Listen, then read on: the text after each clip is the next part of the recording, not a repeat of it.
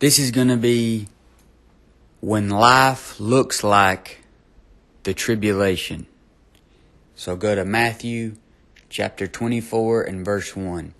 It says, And Jesus went out and departed from the temple, and his disciples came to him for to show him the buildings of the temple.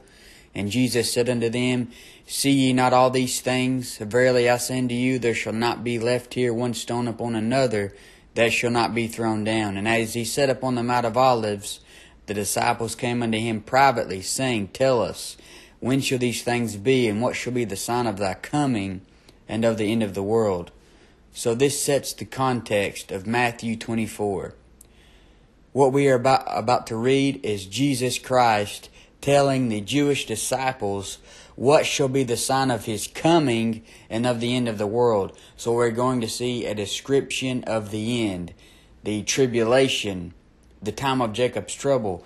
And instead of focusing so much on the doctrine, I'm going to talk very practical and talk about when life looks like the tribulation.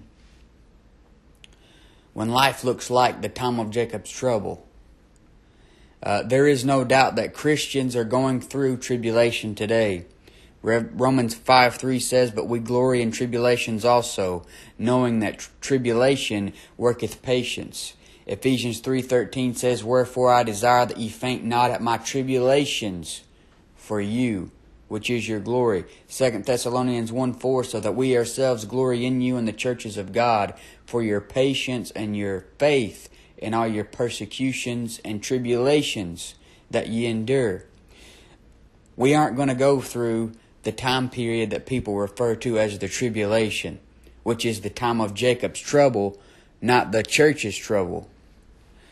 Uh, here in America, we may not be dying as a martyr, but we are going through persecution and tribulation in other ways.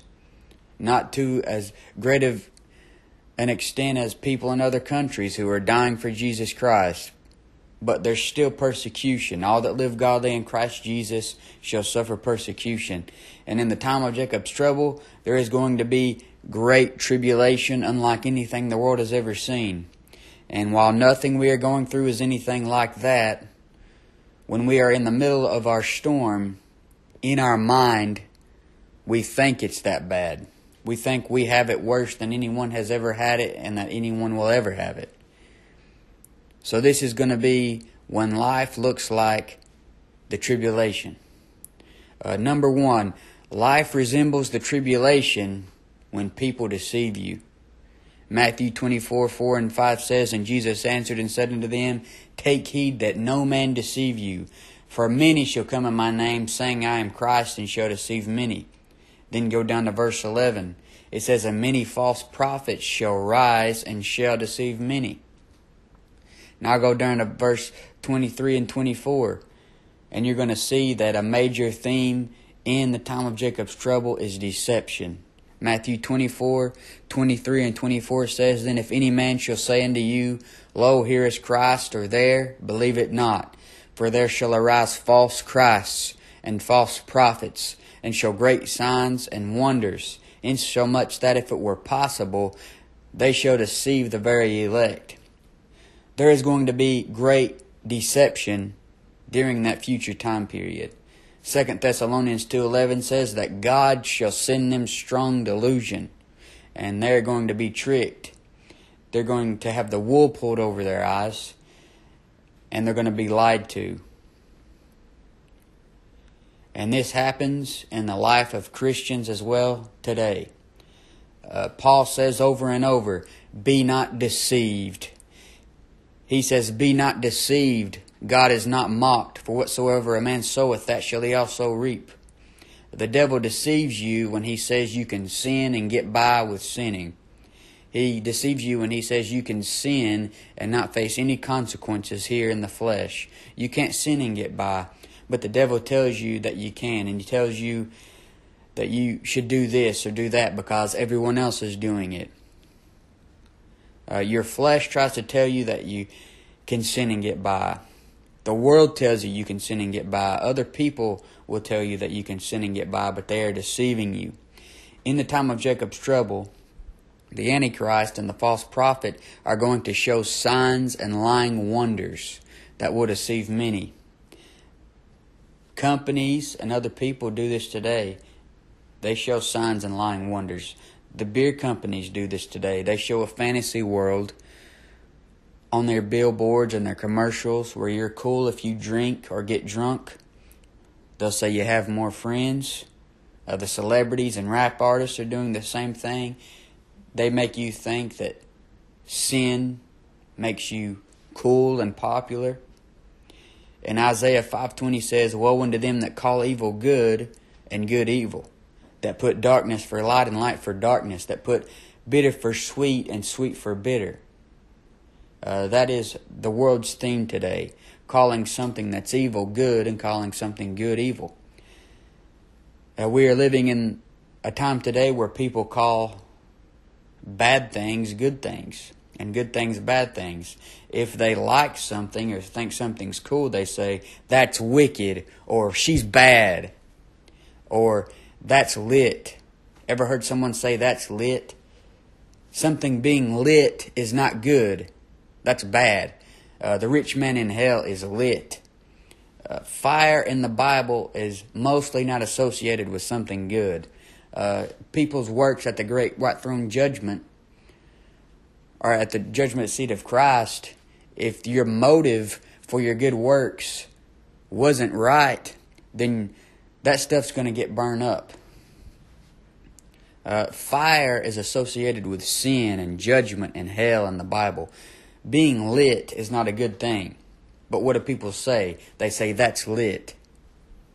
Uh, the devil is working hard to deceive you and your kids into thinking the Bible is boring and that it's for old people, and all the wicked stuff is fun and for young people. You can see this on all the TV shows.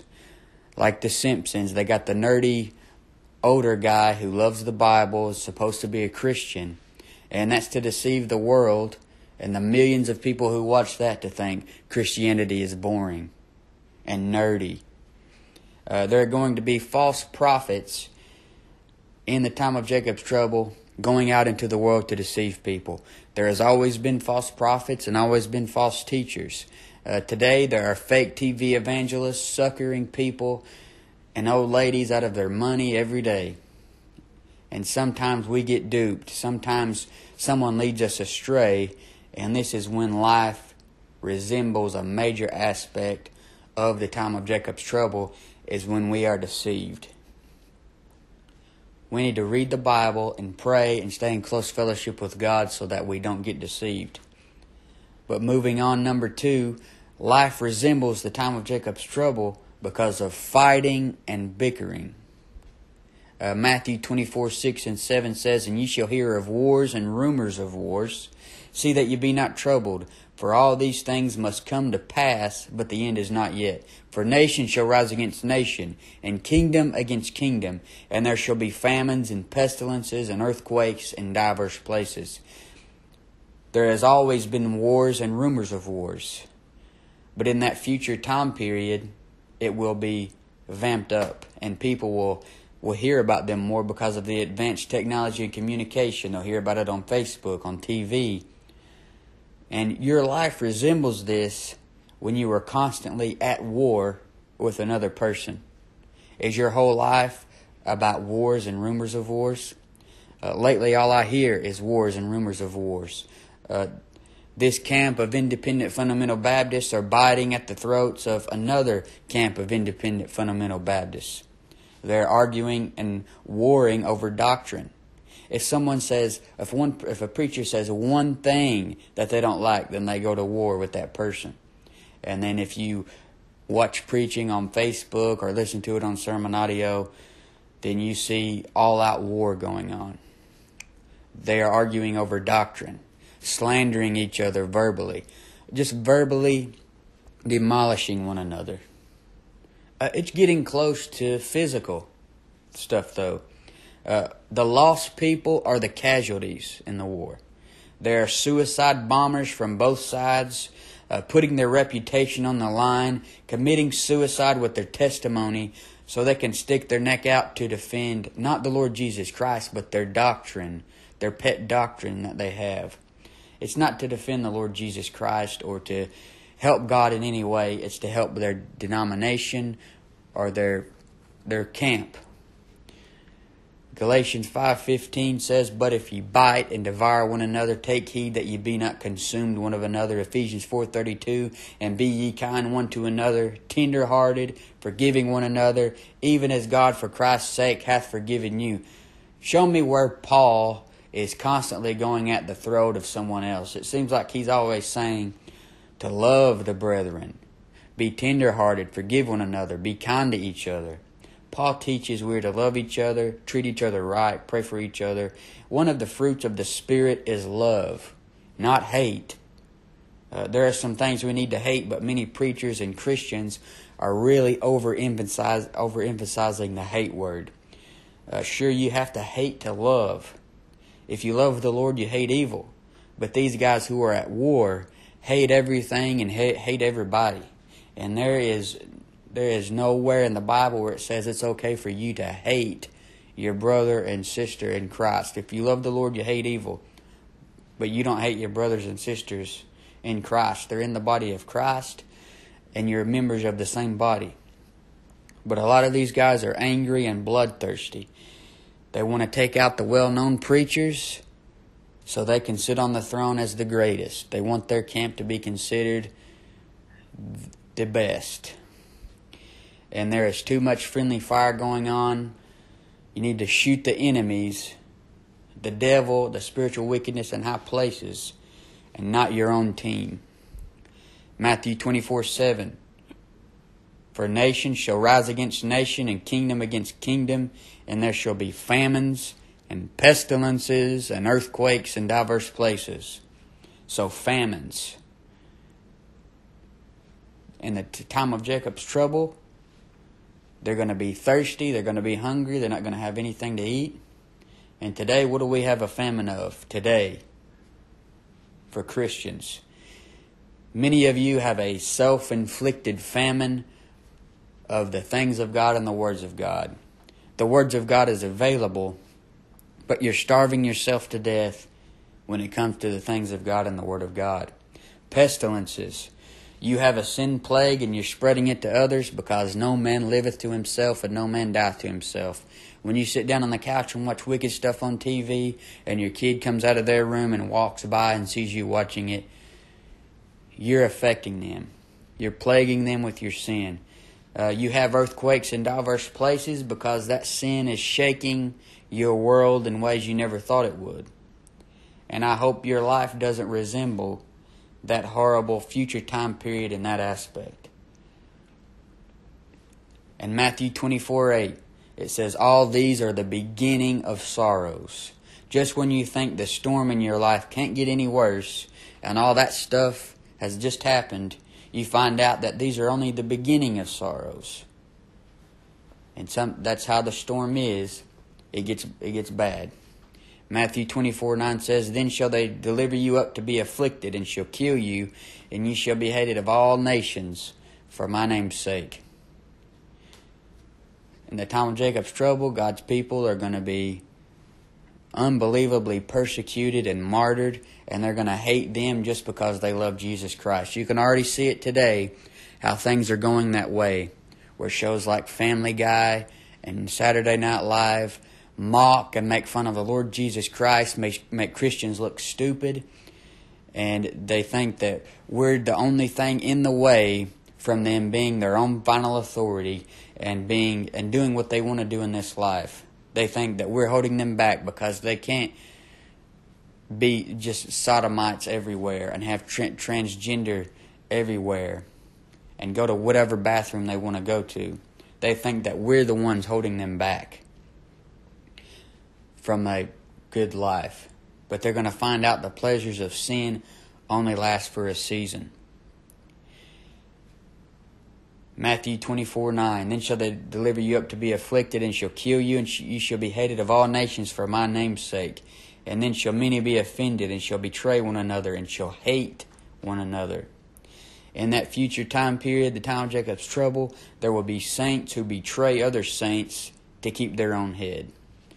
Uh, an Antichrist minion may come to them and say, Tell me where your friend is or your son is, and I won't chop your head off for not taking the mark. But even today, life resembles the tribulation with the betrayal and the hatred of Christians towards other Christians. They're at war with each other. I never seen the like of people being jealous and hateful towards other Christians. They don't have the attitude of saying, Good job, man, I'm proud of you for what you're, you're doing. They say in their heart, Why is all these good things happening to him?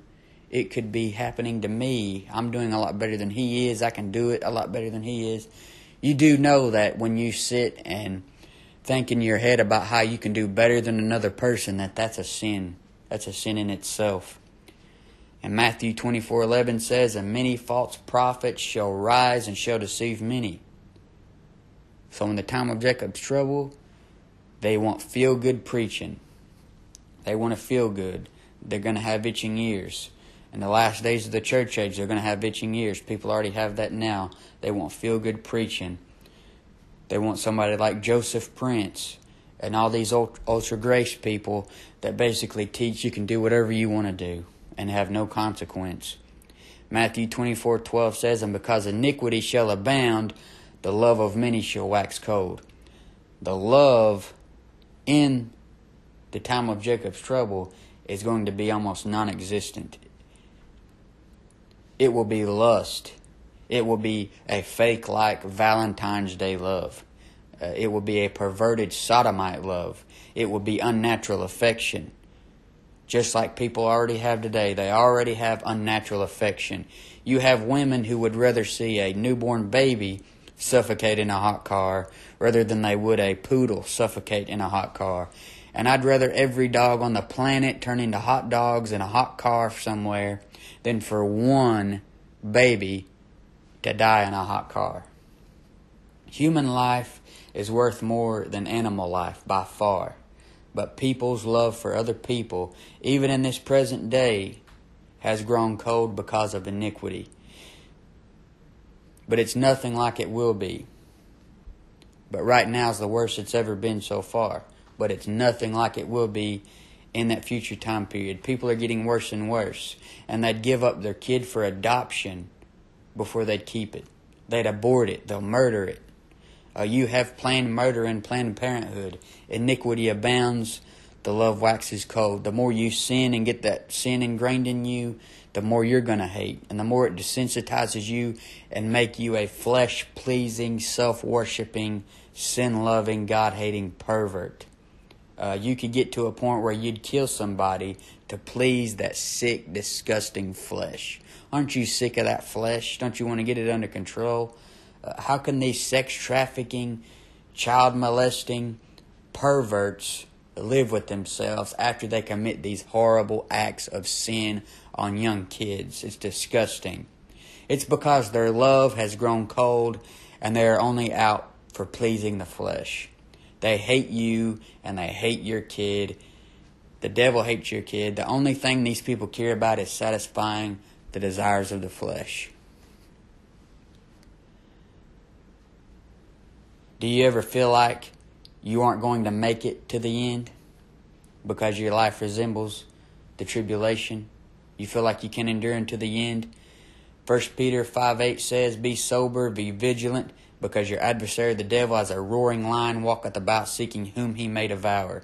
Whom resist steadfast in the faith, knowing that the same afflictions are accomplished in your brethren that are in the world. All those afflictions you're going through somewhere someone is going through the same thing and they are making it. The saints in the past have made it so you can make it.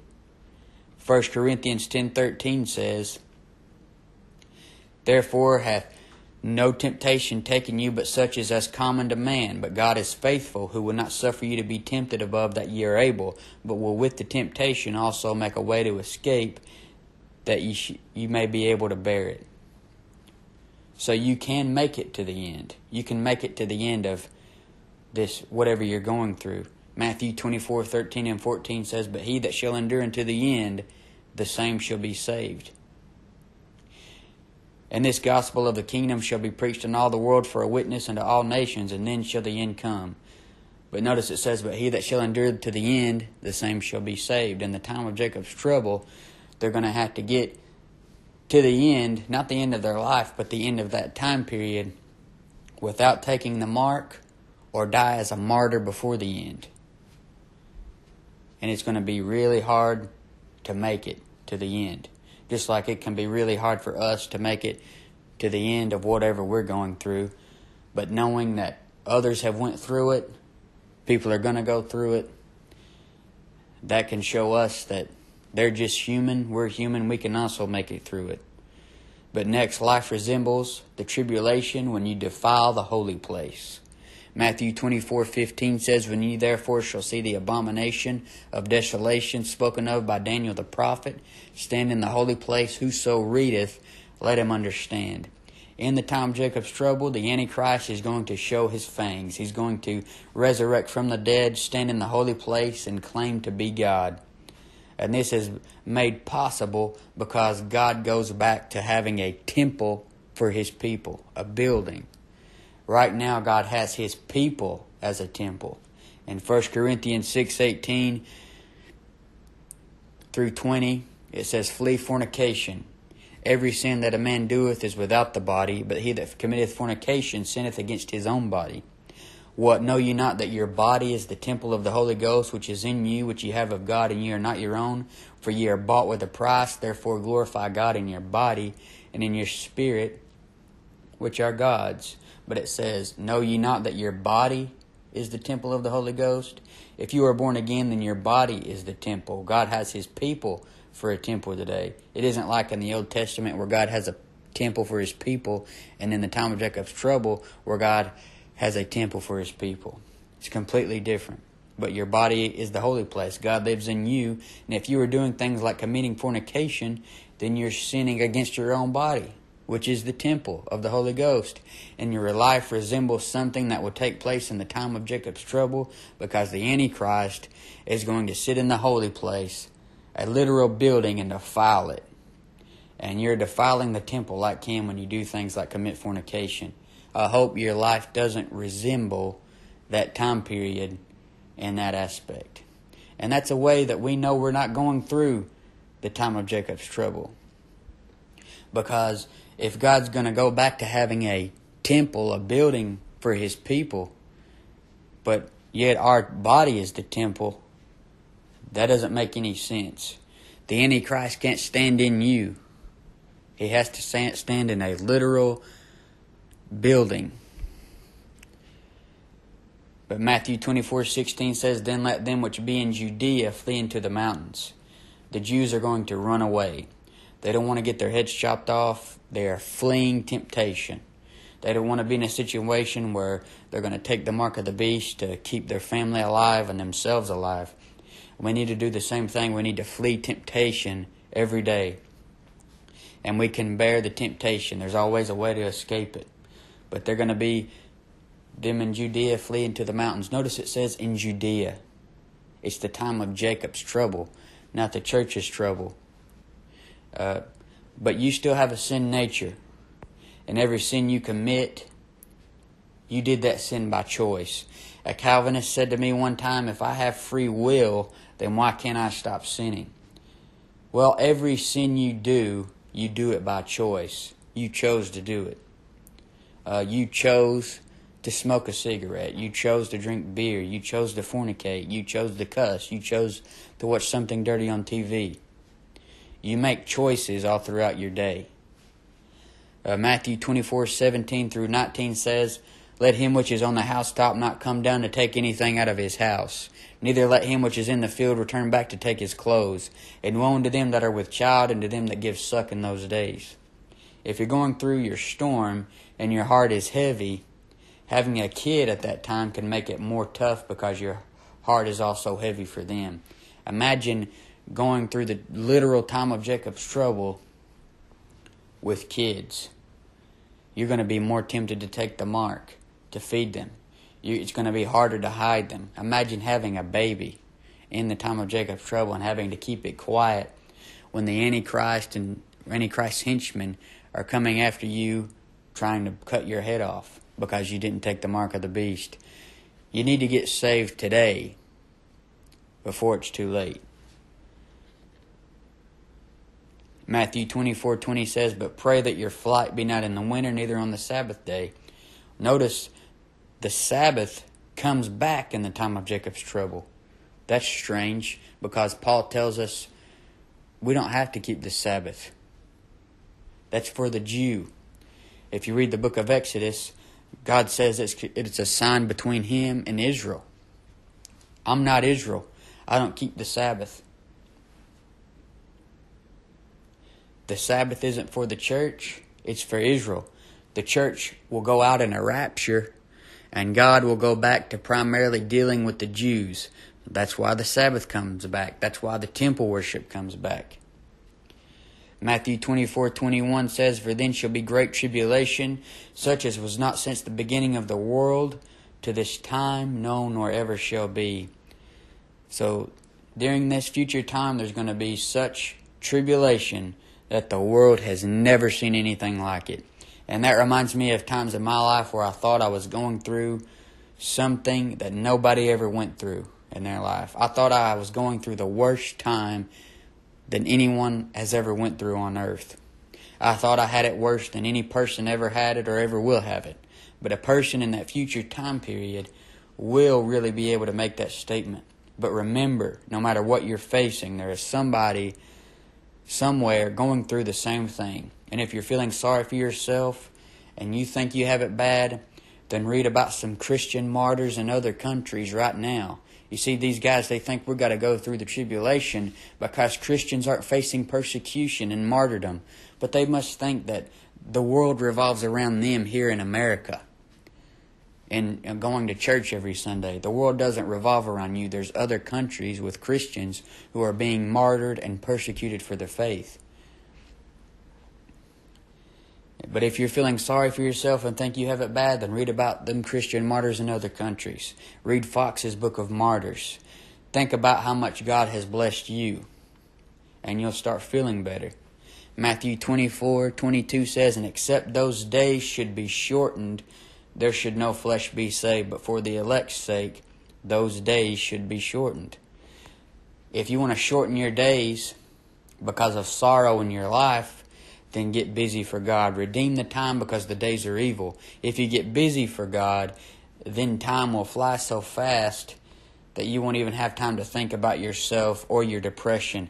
And it will literally seem like time has been shortened. I know that since I've been saved, it seems like time has sped up. And the, the last seven years that I've been saved does not seem like seven years. Matthew 24, 25, and 26 says, Behold, I have told you before. Wherefore, if they shall say unto you, Behold, he is in the desert, go not forth. Behold, he is in the secret chambers, believe it not. In the time of Jacob's trouble, they're going to be saying, Jesus is here. He's over there. Jesus is this guy. Jesus is that guy. There will arise false Christs, but they won't be Christ. They'll think the Antichrist is Jesus Christ. That is part of the deception. Uh, but Jesus is my hope. He's my King. He's my way, the truth, the life, my happiness. But you know, your life resembles the tribulation when someone tells you you can find your hope, your way, your truth, and your happiness by looking over here and looking over there and looking at this person, looking somewhere else other than where Jesus Christ really is. And in the time of Jacob's trouble, they're going to be saying, He's in the desert, He's in the secret chambers. Today, they are telling you your hope is in drugs, your hope is in sex, it's in music, it's in a good career, the, or in the American dream. And that all goes along with the deception. That's why Paul continuously says to Christians, Be not deceived. So life resembles the time of Jacob's trouble at times, but there is good news because the tribulation ends. So the sorrow ends, the depression ends, the storm ends. Matthew 24 27 says, For as the lightning cometh out of the east and shineth even unto the west, so shall also the coming of the Son of Man be. Jesus will come by and give you the victory over the, over sin. He'll give you comfort in times of trouble. He'll show you the way when there is no way. He's coming back to get you at the rapture, which isn't in Matthew 24.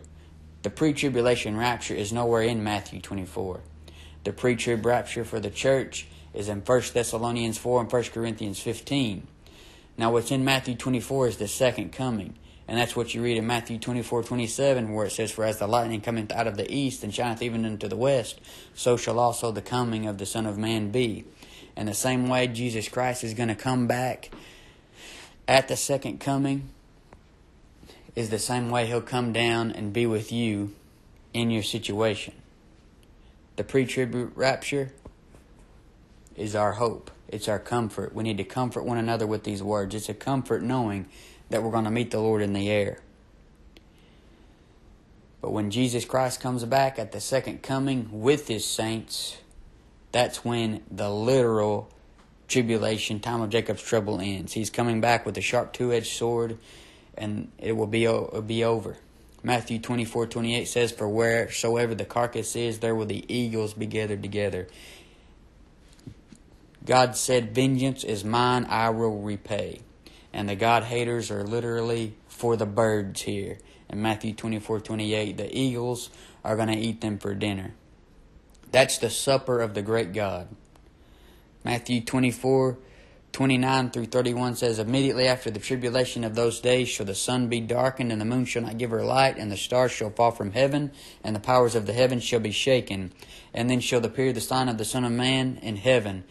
And then shall all the tribes of the earth mourn, and they shall see the Son of Man coming in the clouds with power and great glory, and he shall send his angels with a great sound of a trumpet, and they shall gather together his elect from the four winds from one end of heaven to the other. Now the elect here isn't the elect of Colossians 3:12, the body of Christ. Isaiah 45:4 you have the elect which is Israel. But one day all the saints from every age will worship God together.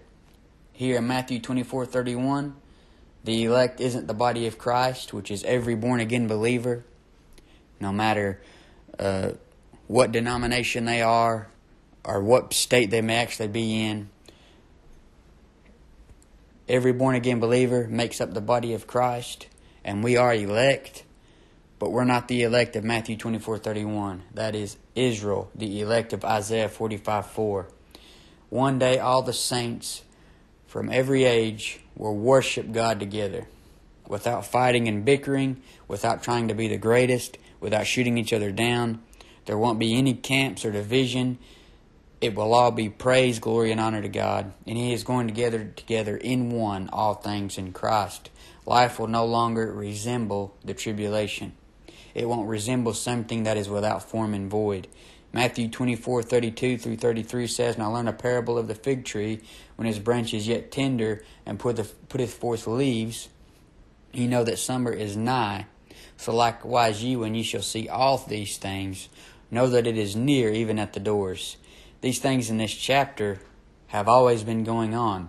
There has always been wars and famines and earthquakes and pestilences. But when you shall see all these things mentioned in this chapter, the saints during that time are going to know it's getting close. And when all these things are coming down on your head today, all the sorrows and the storms that come down on your life, remember there is a better day coming. Know that it is near, even at the doors. Uh, Matthew 24 34 says, Verily I say unto you, this generation shall not pass till all these things be fulfilled. Heaven and earth shall pass away, but my words shall not pass away. And there is something to lean on when your life resembles the time of Jacob's trouble. All the things of this world are going to pass away, but God's word is fixed. It can't be destroyed. It will never pass away.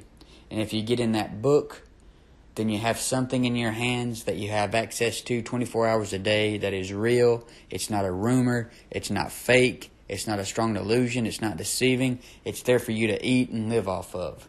Esteem the words of his mouth more than your necessary food. The Bible says Man shall not live by bread alone, but by every word that proceeded out of the mouth of God shall man live. It says, Wherewithal shall a young man cleanse his way by taking heed thereto according to thy word.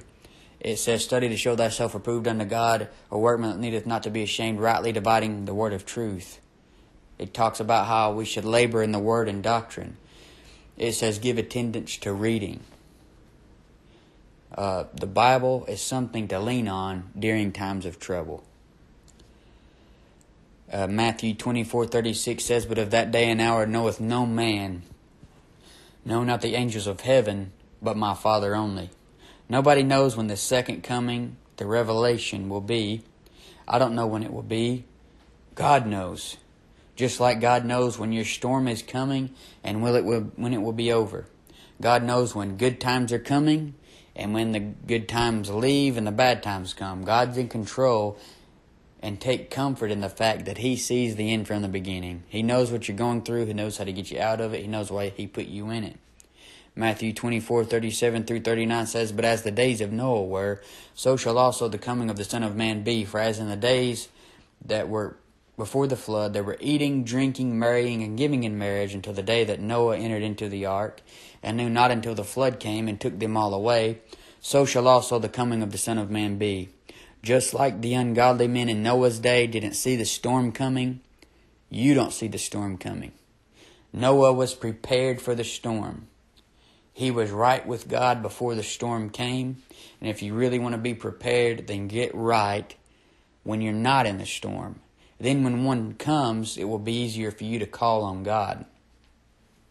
If you're already walking with God and talking with God, reading the Bible and fellowship with, every, with Him every day, and out of nowhere a storm comes, you're already going to be right and can go straight to God. You don't have to say, Oh God, I'm sorry for living wicked and doing all these bad things. I should have been closer to you. You're already close to Him. And it will be so much easier to call on Him. Matthew 24, 40 through 44 says, Then shall two be in the field, the one shall be taken and the other left. Two women shall be grinding at the mill, the one shall be taken and the other left. Watch therefore, for you know not what hour your Lord doth come. But know this, that if the goodman of the house had known in what watch the thief would come, he would have watched, and would not have suffered his house to be broken up. Therefore be ye also ready, for in such an hour as you think not, the Son of Man cometh.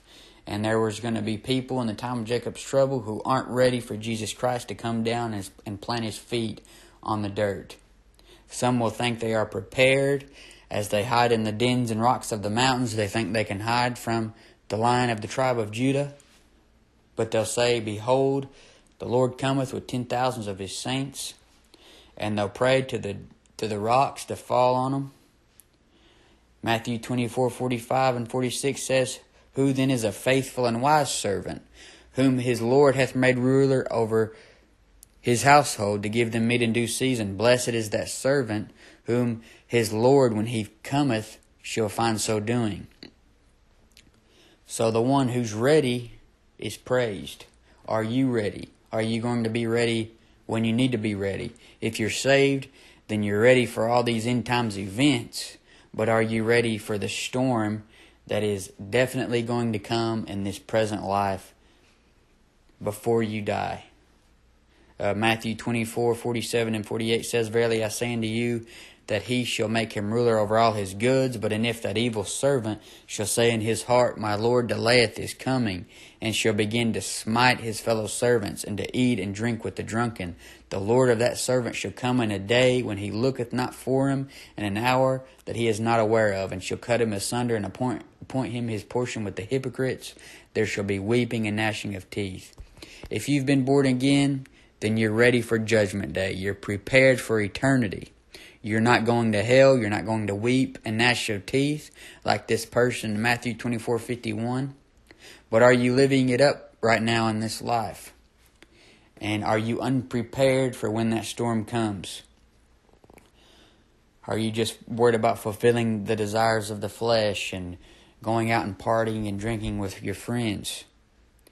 Uh, they're going to, if you're doing that, you're going to be sorry that you weren't prepared when that storm comes. Maybe that storm's coming because you're in the shape that you're in right now. You think life is all good sometimes when you're enjoying the pleasures of sin that last for a season, but you, there's something in you telling you that you need to get right. You need to be, and you're ashamed of what you're doing. The Bible says, What fruit had ye in those things whereof ye are now ashamed? Do what you need to do today to stay right with God. Then, when trouble comes, your heart will be soft and your heart will be right, and you'll know exactly what you need to do because it will, it will be a part of your everyday routine already. But these wicked people, during that time of Jacob's trouble that's coming, who are lost and eating and drinking and marrying and giving in marriage and that in that time are going to think they have all the time in the world. They're going to think the Lord delayeth his coming, as the verse said. Then Jesus Christ is going to come in a day that they aren't looking for him. They are unprepared. And we all need to be prepared for something.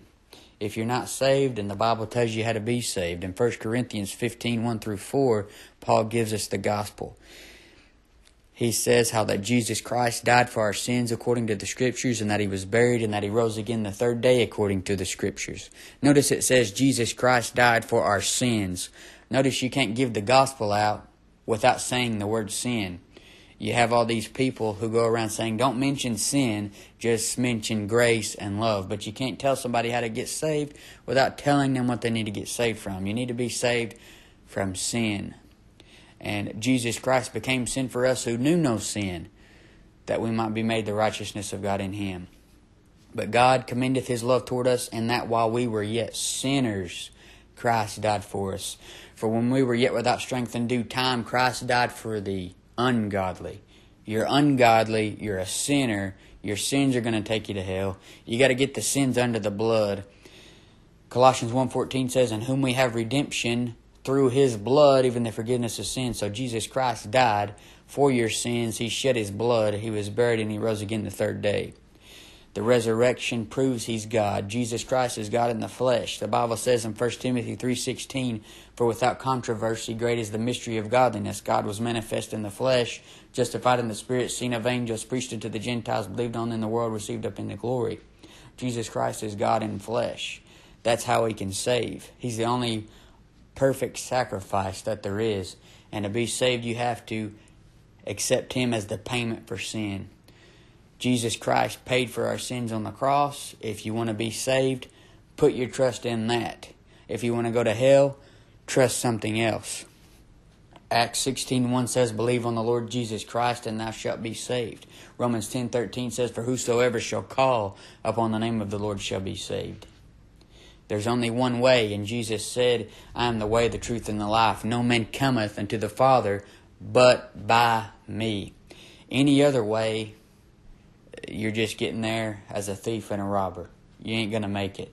You're going to go to hell. Uh, you're not just going to die physically, but you're going to die a second time. The Bible says in Romans 6:23, "For the wages of sin is death, but the gift of God is eternal life through Jesus Christ our Lord." The Bible says in the book of Revelation, death and hell are cast into the lake of fire. This is the second death. So one day you're going to die physically, and then one day you're going to be called, after you, you've been in hell for who knows how long, at least a thousand years at this point, you're going to be called up to the great white throne judgment. God's going to show you your name isn't in the book. He's going to show you all the wicked works you've done.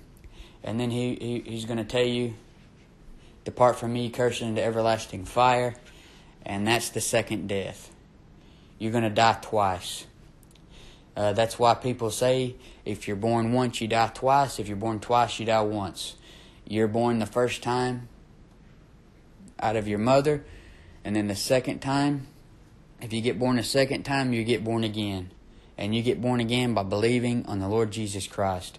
He that believeth on the Son hath life, and he that believeth not the Son shall not see life, but the wrath of God abideth on him. John 3.16 says, For God so loved the world that he gave his only begotten Son, that whosoever believeth in him should not perish, but have everlasting life. He that believeth not the Son is condemned already, because he has not believed on the name of the only begotten Son of God.